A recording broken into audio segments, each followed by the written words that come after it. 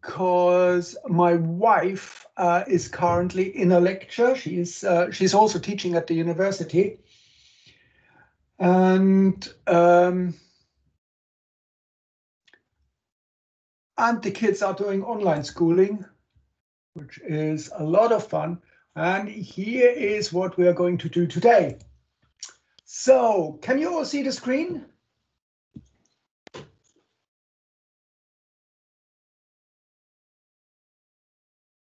Yep, she teaches at Kent. And she even teaches some students who are in one of the other bioscience module.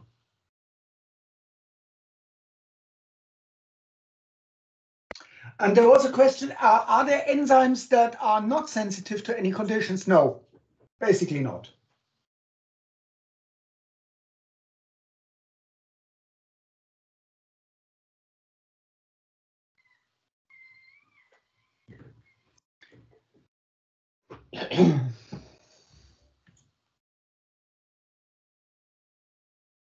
Well, she teaches uh, some students who are in the in the other module that I'm teaching.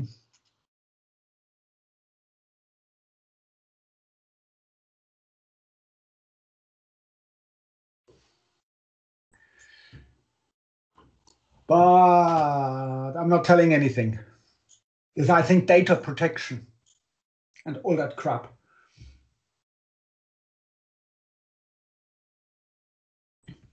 She's also a bioscientist, I should say.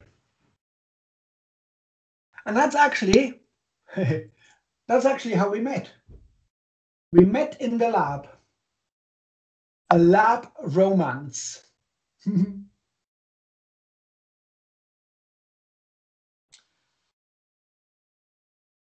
I hope not. I hope they are not following uh, our in our footsteps. Although I told you, my son has decided uh, to do A levels, maths, biology, and chemistry. Yes, there was a lot of uh, chemistry. And I could, I could, uh, you know, come up with really, really cheesy quotes. Um, you know, I am a DNA helicase. Can I unzip your genes? But that's really bad. Okay, let's get started before I talk even more nonsense as than usual. Right, now, as you can see, uh, what we are going to do today, yes. Uh, yeah, I know, it's, it's, it, the, old ones are the good ones, right? So today we are doing all the things that you absolutely love, or maybe not,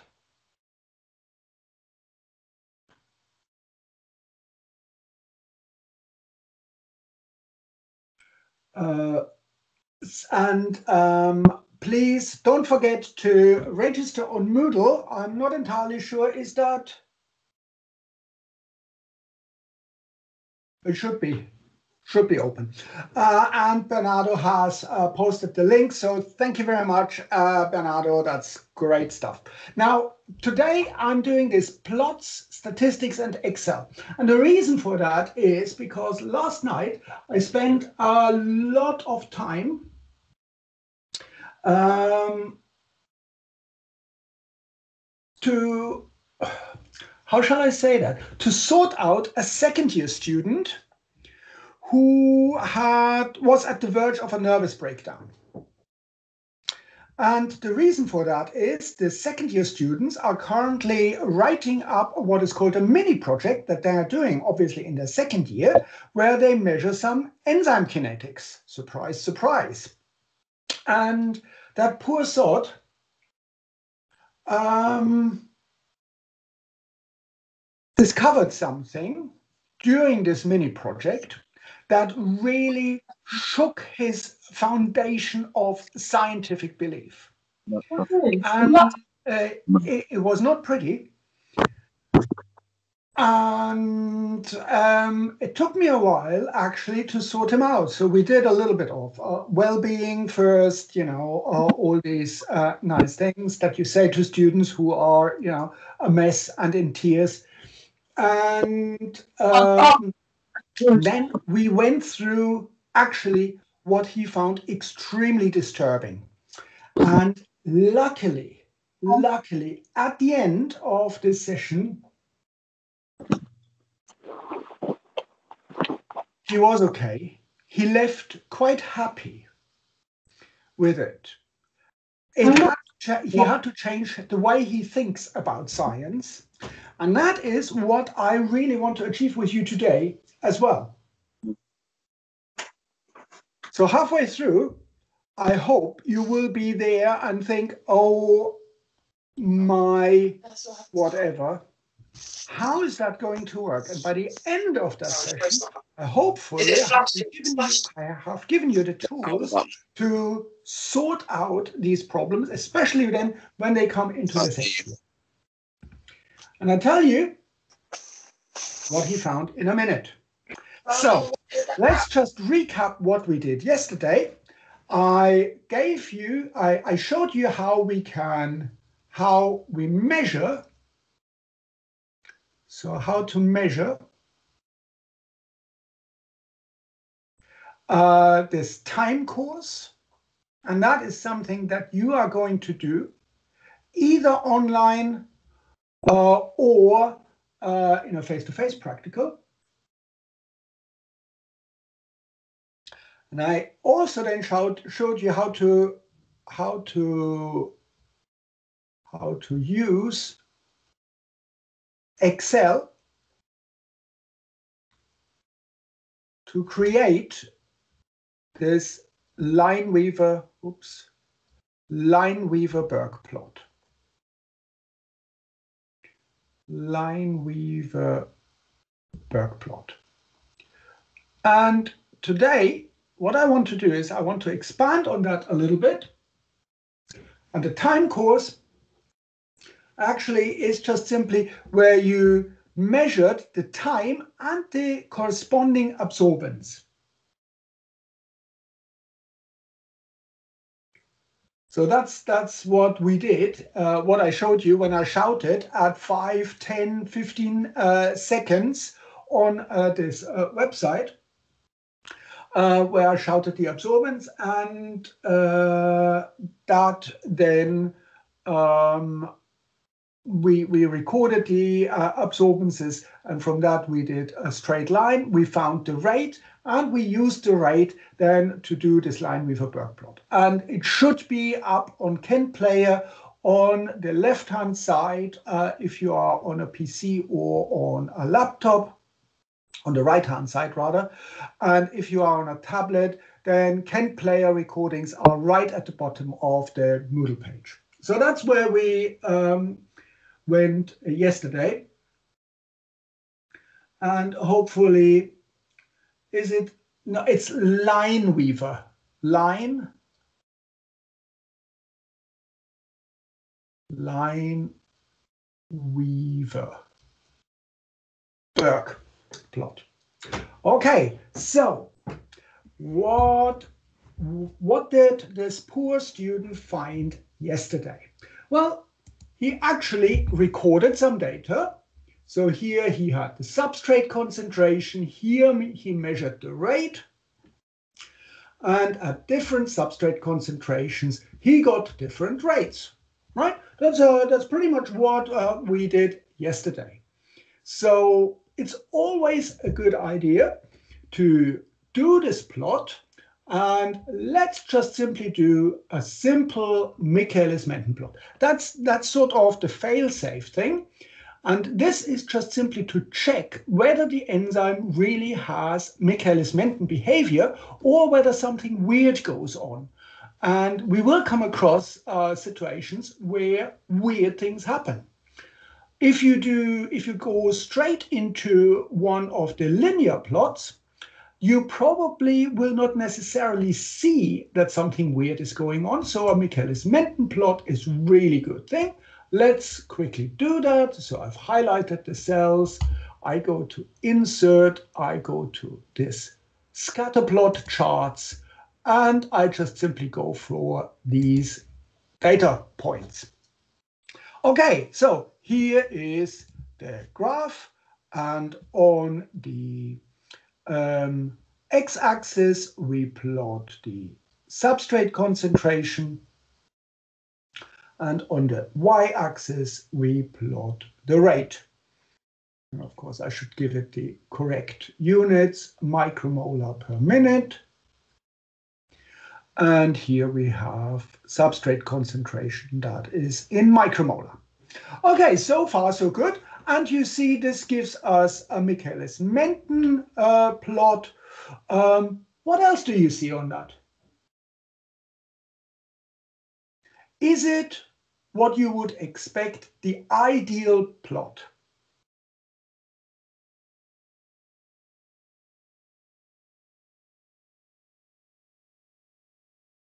It says no. Why, why, why is it not? Why do you say no?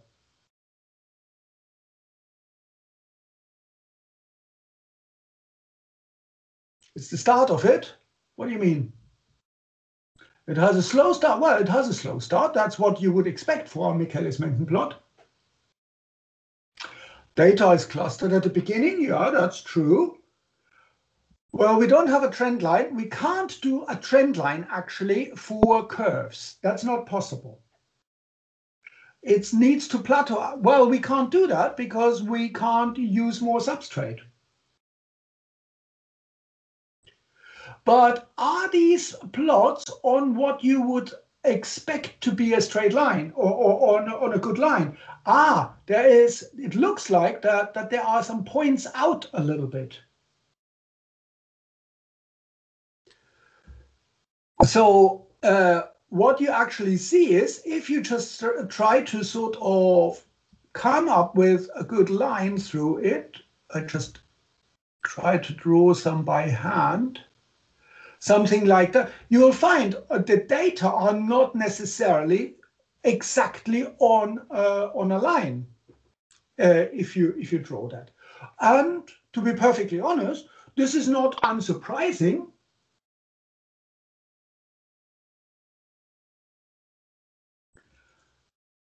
This is not surprising at all because we are doing experiments. So these data actually might have a little bit of uncertainty in measurements.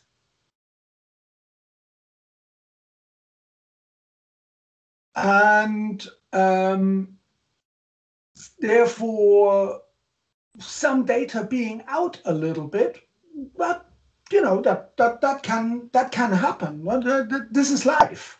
And in fact, looking at this plot, it's not too bad actually. It, it, it, gives us really all we need to know. So what would you say is the Vmax for this guy? What do we get for Vmax as a rough estimate?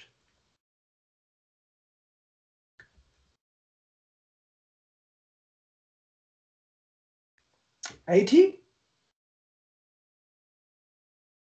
Ninety? 90, 90, 90, 85-ish.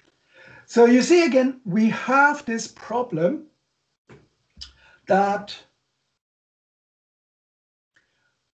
we really don't know. We don't know how this plot goes on. Will it go on like that or something like that, maybe with experimental data, or will it move up again?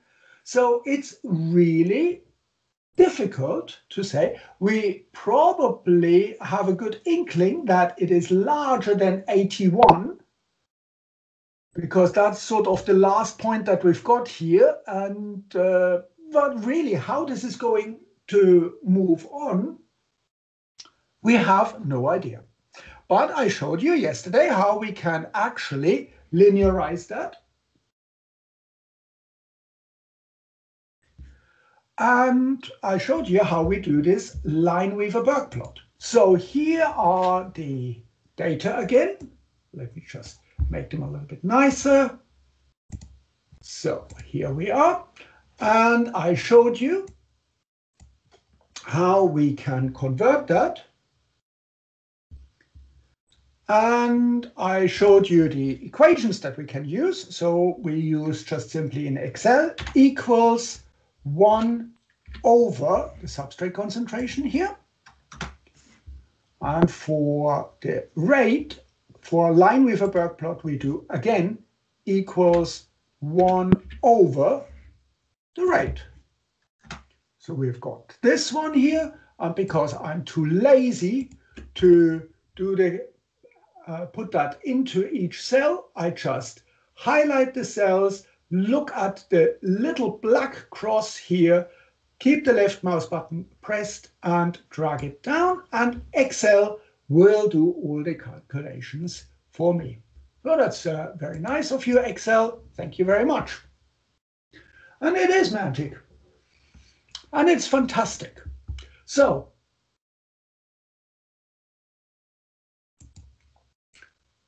let's see how this plot looks like. Okay, and I've showed you how we do that yesterday. Insert, again, we go to charts and we go to scatter plot. And here is our Lineweaver-Burk plot. And of course, we could make this a little bit nicer. Now we have a sort of a nice linearization. So this would be a Lineweaver-Burk plot. Here we plot 1 over the substrate concentration, and here we plot 1 over the rate, and the unit would be 1 over micromolar per minute. And here the unit would be 1 over micromolar. Okay? So this is what the Lineweaver-Burk plot looks like. Doesn't look too bad, actually. Now let's put in a trend line and let's get the uh, equation for this trend line. So we just simply click on data points so that they are all highlighted, right mouse click, add trend line, and uh, we get our trend line here. So there's this one here. We display the equation and we get the R squared value that tells us how good the relationship between the independent and the dependent variables are. And this is what we get. And this is a nice and straight trend line uh, for linear trend line. So Excel actually calculates the differences of each point to a trend line and uh, minimizes this difference. That is how Excel does this calculation. So that's our trend line. Now we see a couple of things here that are noteworthy. Are all our points on the trend line? Do all our data points lie on the trend line?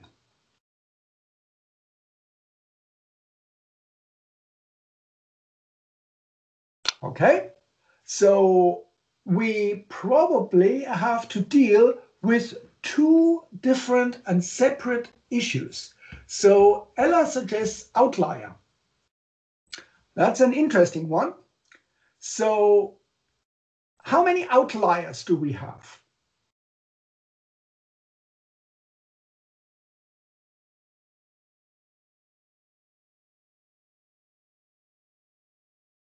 Okay, so people say one, and I assume you would say that this one here is potentially an outlier.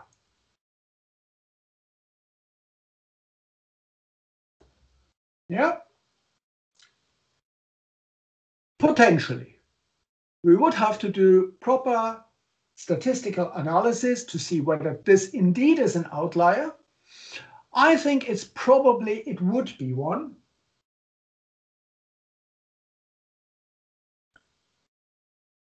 Well, yeah, it's a, good point, but uh, it's relatively unlikely that we have one correct point and all the others are wrong. So, but uh, there is a chance that we might have more outliers.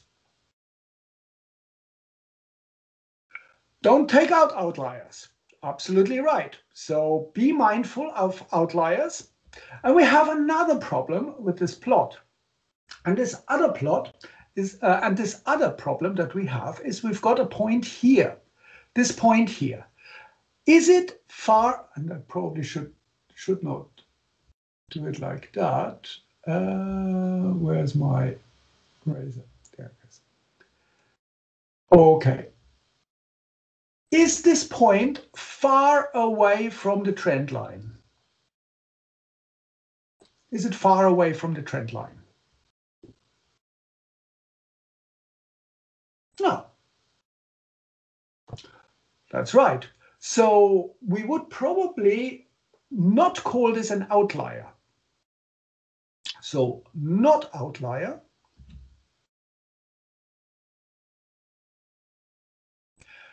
However, this point, even if we have a, just a slight change, if we say, if we had measured it somewhere here, this point here would change how this gradient looks like. So this point here actually has a lot of influence, has lot of influence on, oh, let's try that again. Nobody can read that. Lot of influence on the uh, position of the trend line. Yeah, that's why this point is called an influential influential point. So we have an influential point. This point has certainly more influence than, for example, this point here. on the position of the trend line. And if we have sort of different influences that's never a good thing. So with a line Lineweaver-Burk plot, we inevitably always have an influential point right at the end. We could try to take that out, but then this point, the next point becomes an influential point. So every time we have a point right at the end for a Lineweaver-Burk plot, we have an influential point. And an influential point is something that is still on the trend line, but that is far away or relatively far away from the rest of the data points. So this point here, or these points here, are fairly far away from the rest of the data points, and therefore they have a really massive influence about on the trend line. We also have another problem because what we see here is that we have what is called the bunching of data.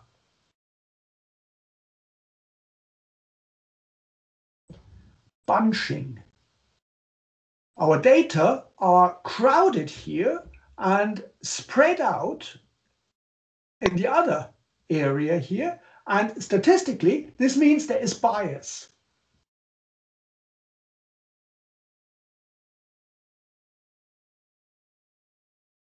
This would be more coursework. Yeah, absolutely. So this is a problem, isn't it, with this Lineweaver-Burk plot? Okay, nevertheless, let's see what we get in terms of data. So we have our equation here. Let me move that here. So what we find for this trend line is 0.0102, and that is our 1 over Vmax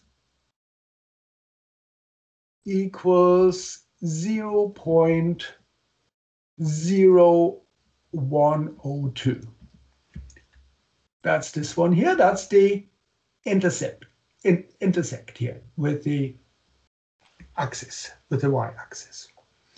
And our gradient that we have here that's this guy here, that is Km over Vmax in a Lineweaver-Burk plot. This gives us 0 0.5324. Okay, so these are the parameters that we get. Of course, we want Vmax. So all we need to do is we just simply take this value here and take it 1 over this value. So we would get equals 1 divided by 0 0.0102. And that gives us our Vmax value. So our Vmax value is 98 micromolar per minute. Km, we just simply take this value and multiply it with our Vmax. So that is 0.5324 times this value, 98, and it gives us a km of 52. Right? Does that make sense? I think that's what I showed you also yesterday. So, oh, no, that's not what I wanted, sorry. I did not want that. I wanted this one here, yeah. So these are our two values that we got here. And let me just do it like that. Okay, so these are the two values that we are interested in. Vmax is 98 uh, micromolar and the Km is 52 micromolar. That's what we got from this Lineweaver-Burk plot.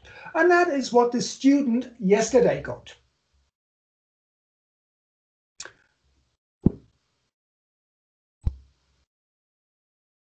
So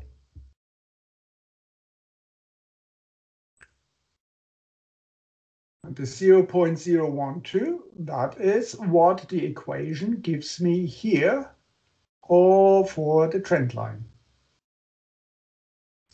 And Vmax from 1 over Vmax, we discussed that yesterday, you just simply do 1 over 1 over Vmax. Thank you very much. Yeah, that's exactly yeah, looks good, doesn't it? Okay, so this is what the student got yesterday. And he said, well, but I know that there are problems with a Lineweaver-Burk plot. So let me just simply try a different plot. Let's try the Eadie-Hofstee plot. And just uh, as a reminder, in an Eadie-Hofstee plot, we plot V over S on the x-axis and v on the y-axis. And we get uh, something like that. The gradient gives us negative km. And if we extend this line, this point here gives us Vmax. And this is really the things that we are interested in.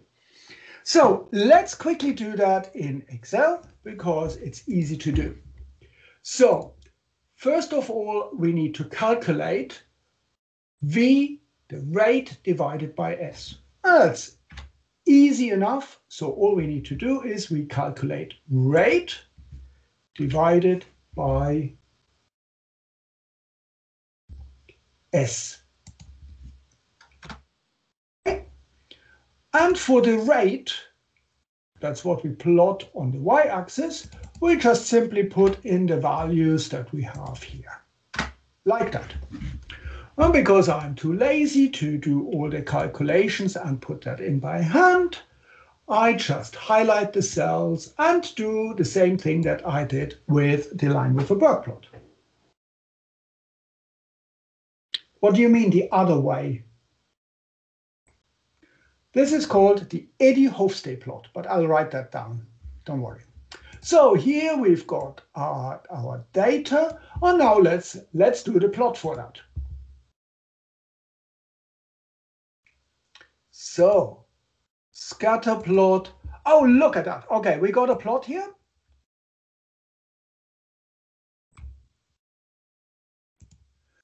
So this is an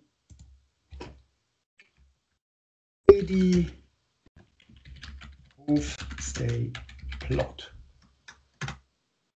Okay, so here we got it.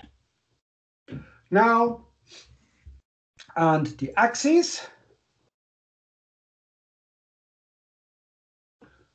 The axis we plot V over S.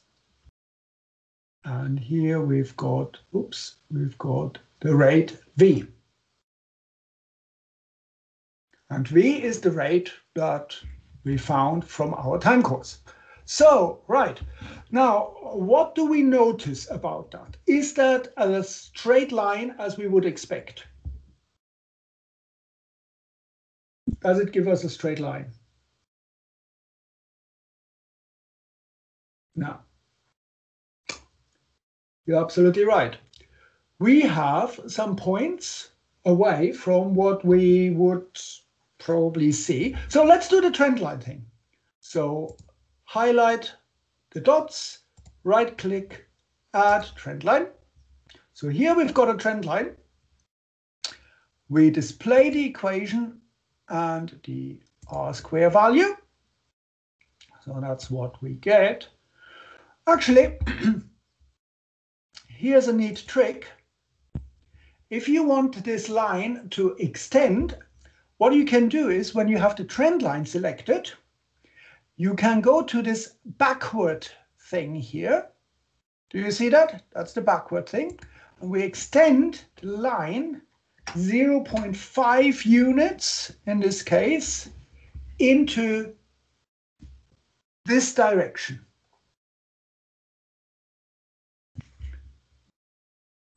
That's actually really nice, nice trick. So 0.5.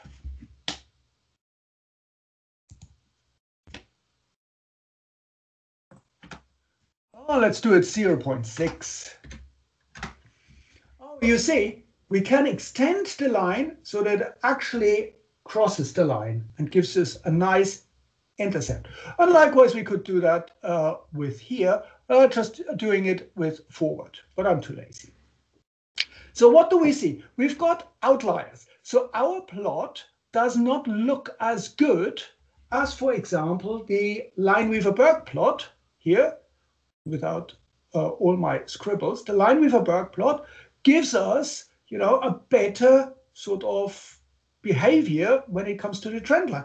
And we've got a fairly high value for the correlation, whereas in the Eadie-Hofstee plot, what we find is we have a much lower correlation here. Right? You see that?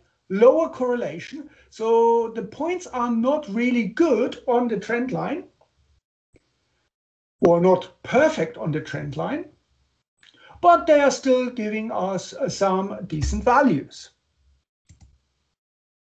Now, the nice thing, however, is do we have, yes, we have outliers. We've probably this one is an outlier. Do we have any influential points on here?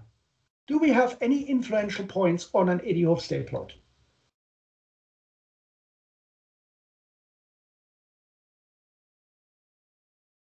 What do you think? Yes? Are there any data points that are far away from the other data points?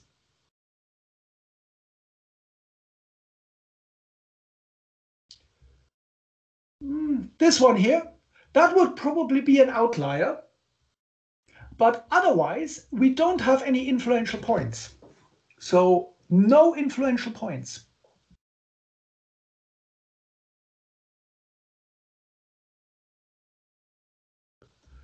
No influential points. Do we have bunching of data? Are our data sort of biased? Excellent. No bunching.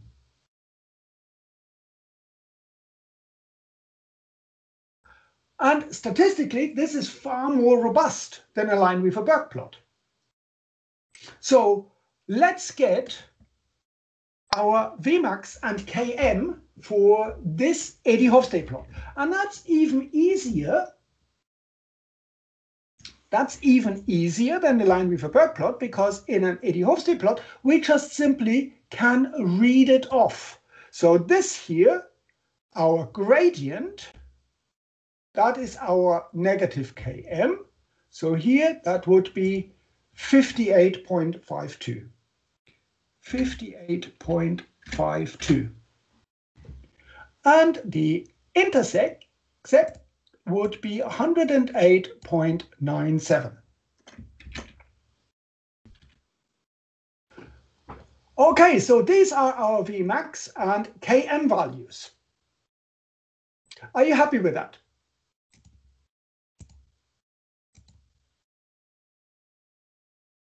We found Vmax and Km.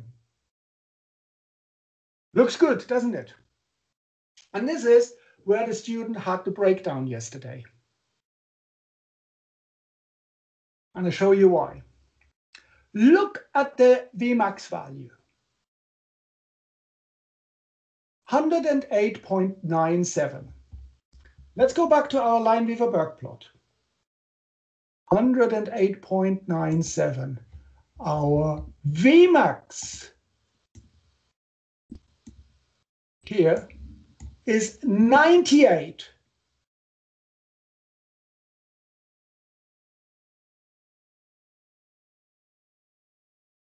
Shouldn't it be the same? Okay, let's uh, maybe we made a mistake somewhere. Let's look at the Km. Km for the Lineweaver-Burk is 52. For the Eadie-Hofstee, it's 58.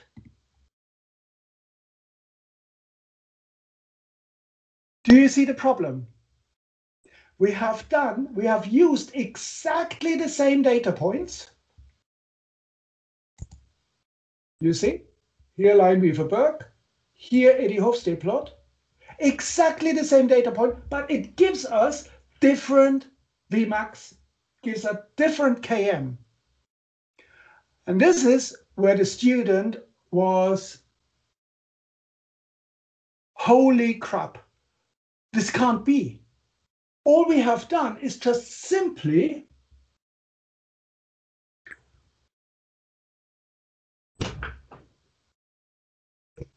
all we have done is exactly the linearization. We have used linear forms. And again, Km is the gradient in an Eadie-Hofstee plot. So that's this value here, 58.52. We ignore the minus and write that down. So this one here, this is the value for Km, and here this one is the value for Vmax.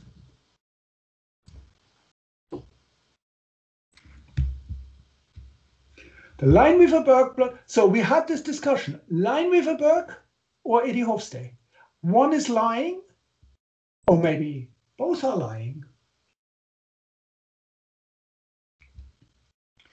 And on the line with a Lineweaver-Burk, how do you work out Km? So what you do is, in order to get Km, you just simply say Km equals Km over Vmax, that was the gradient, times Vmax. Because the Vmax cancels out and we've got the Km. So that's the value for the gradient and that is 1 over the intercept.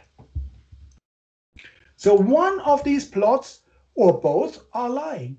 So they give us different results. They are not terribly difficult, they're different, but they are different, undoubtedly aren't they? How come that if we do the same thing basically. If we use the same data, we come to different results. Hmm. Any suggestions? What is happening here? This goes against the, you know, our scientific belief. If we do the same thing twice,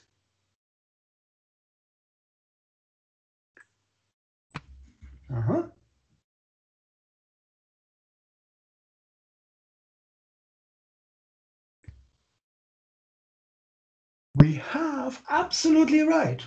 We have experimental, actually we have experimental errors and both plots deal with experimental errors in a different way. And I think Vernon has uh, said it really nicely. We see this because we've got different R squared values. So both plot deal with experimental data in a different ways. So if you look at a Lineweaver-Burk plot, characteristic for a Lineweaver-Burk plot is it makes makes bad data look good.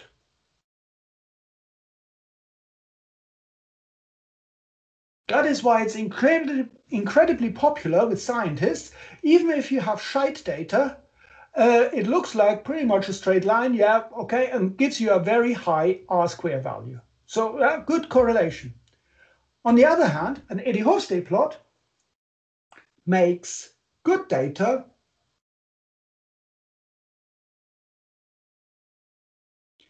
makes good data look bad.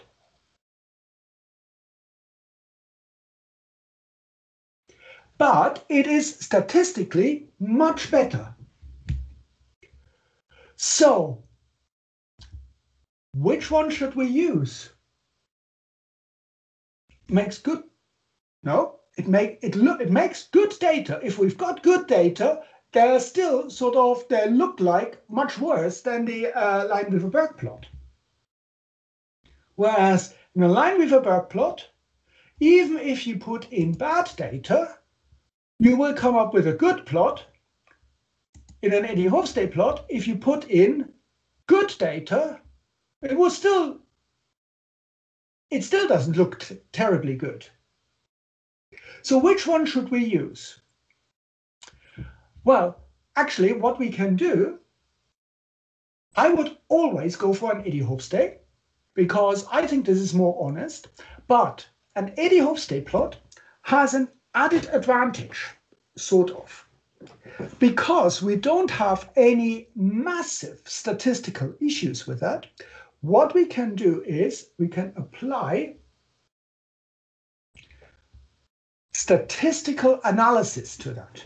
Because what we are doing is we are doing one experiment. We have one sample, if you like, and the sample is these measurements.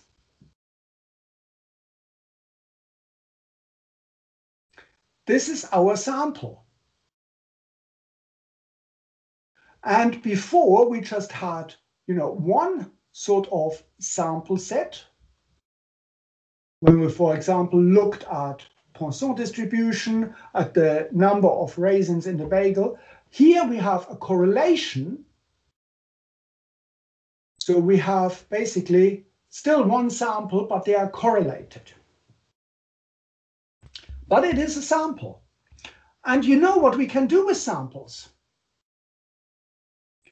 With samples, whenever we have a sample, we can actually find a 95% confidence interval. Whenever we have samples,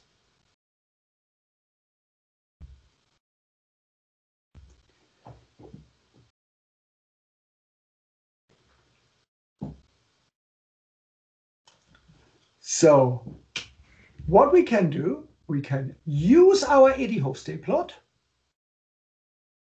because it does not have the statistical problem that I just highlighted in the Lineweaver-Burk. The Lineweaver-Burk plot, we have influential point, we have bunching of data, uh, and it also gives us what we are looking for in the wrong format. It doesn't give us Vmax, it gives us 1 over Vmax.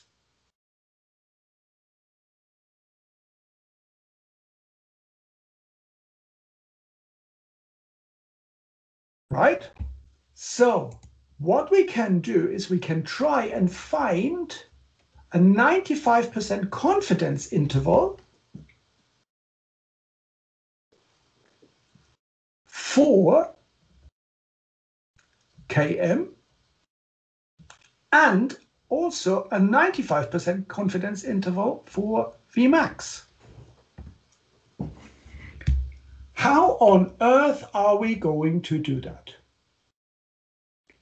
And this is where Excel is absolutely brilliant because Excel can do that for you without any problems. Do you want me to show you how to do that?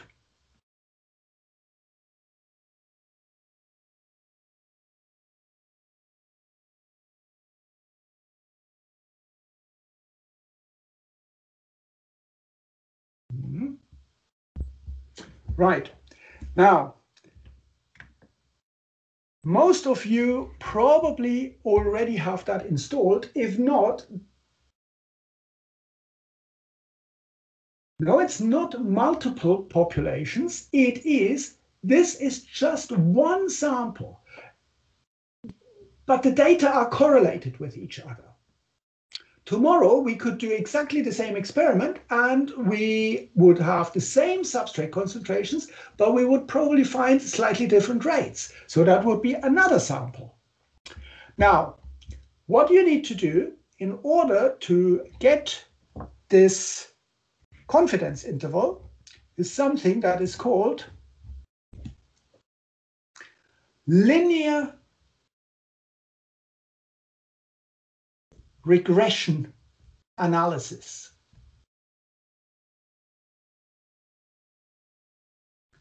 Linear regression analysis.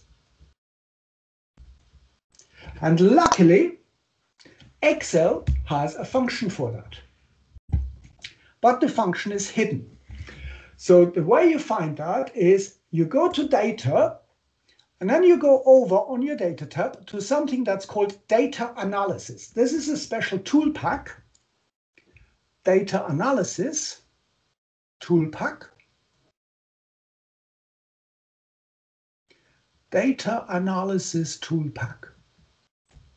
There are a number of YouTube videos out there. If you haven't got it installed, then I will post a link how you can install it.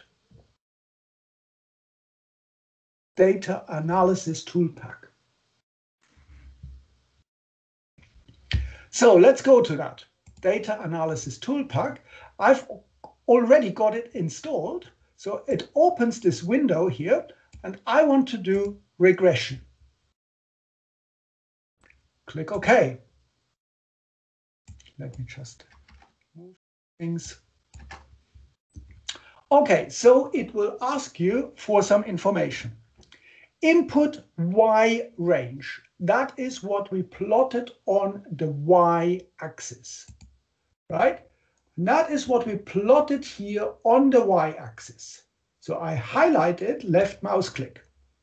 And you see the cells that I just highlighted show up here in this range. Input X range. I take the label and drag it down.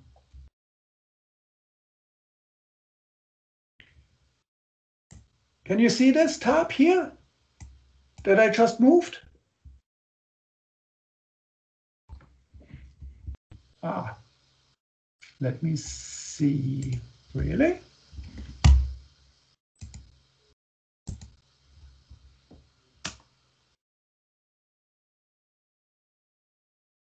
Where is it?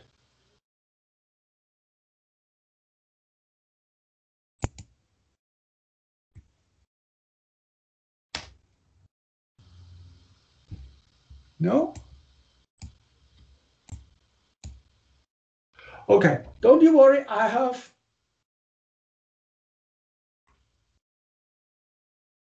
That's interesting. Don't worry, I have a regression analysis tool uh, video, which I will post, that goes through this process. And uh, is the screen gone?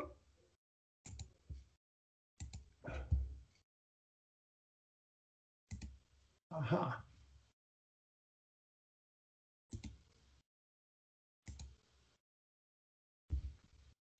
Right, let me see if we can go back to that. So data analysis, regression. Can you see this window here now? No. Don't worry, I'll post a, a video, but what I want to show you is the output of that.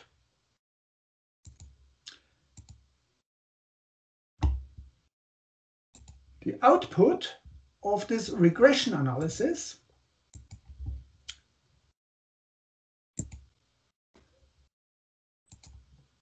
looks like this here. Let me increase that a little bit.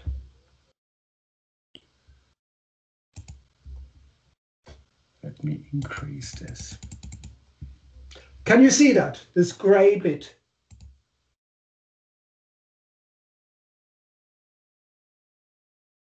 Yeah? This gives you a lot and lots of information. What we are really interested in is four things.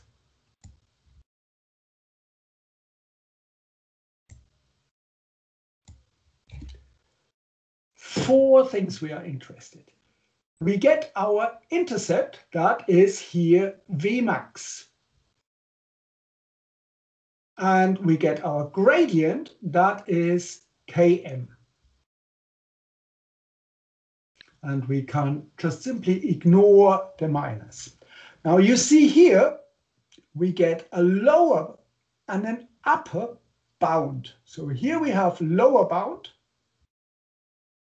And Here we have got an upper bound.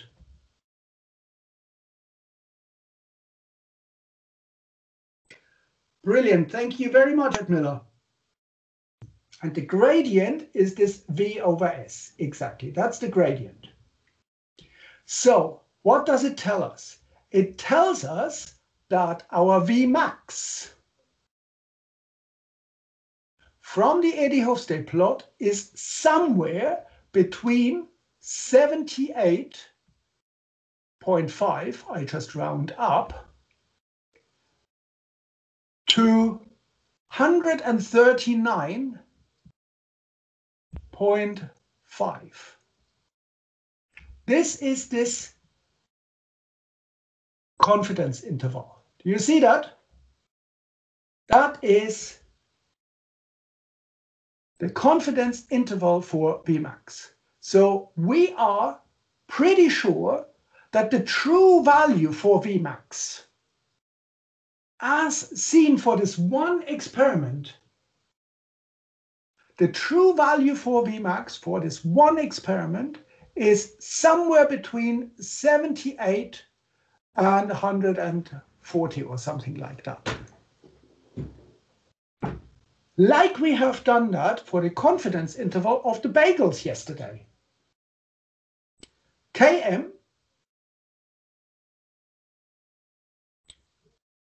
we have here between 33 and 84 and 84. So all we can say is we think that Vmax for this particular experiment is in this range between, let's say, 78 and 140. And Km is somewhere between 33 and 84. And you ignore the minus uh, totally. uh, because we know that it is the gradient is minus km, so we just uh, ignore the, the, the, negative things uh, totally. So that means, let's look again at our Eadie-Hofstee plot. For the Eadie-Hofstee plot, we got a Vmax of 109. 109 is pretty much bang in the middle here. For the Lineweaver-Burk plot, we got a Vmax of 98. Again, 98 is pretty much bang in the middle of our estimate of this confidence interval for Vmax. So what we really should say is it doesn't matter whether we use an Lineweaver-Burk or Eadie-Hofstee plot, as long as we can identify this confidence interval, we can say we believe that Vmax is somewhere in here between. And both plots actually give us something pretty much in the middle. Likewise for Km. For the Eadie-Hofstee plot, we said Km is 58. 58 is in the middle here. For the Lineweaver-Burk plot, we said Km is 52. So again, 52 is in here. So what we would report back is that for these data that we looked at, for these data, we would say our Vmax is between 79 and what was the other one? 79 and 140. and 140. And it does not matter which plot we use. Km is between 33 and 84. So the take home message is Excel allows you to plot these data very nicely and also you can perform on an Eadie-Hofstee plot. You can't do that with a Lineweaver-Burk plot, but on an Eadie-Hofstee plot, you can do the statistical analysis with regression. Well, good, good question. How can it be less? And the answer is, this is experimental uncertainty. This could be you know, slightly out. This is an estimate where we believe the value to be. Maybe this is an outlier. So we've done the plots. I will post the link to how you do the regression analysis. And this is how you actually find Vmax and Km. Ideally, you would use an Eadie-Hofstee plot my advice would be hands off a line Lineweaver-Burk plot. Uh, I suppose you can write it probably like that, yes. Yep. Although I would say you probably should indicate that this is a 95% confidence interval. This is how you do it. Next week, we are starting a new topic. We are starting the topic of enzyme inhibitors, and I've got some videos uh, on the playlist. So if you want to have a sneak peek on inhibitors, have a look at these different inhibitors on the playlist. Otherwise, thank you very much for watching, and I wish you all a wonderful weekend, and don't forget to do the test. Inhibitors, yes, oh God, inhibitors, that's great stuff. Okay, take care and sorry for overrunning. Enjoy your afternoon. Be good. Don't do anything I wouldn't do. right. Cool. So.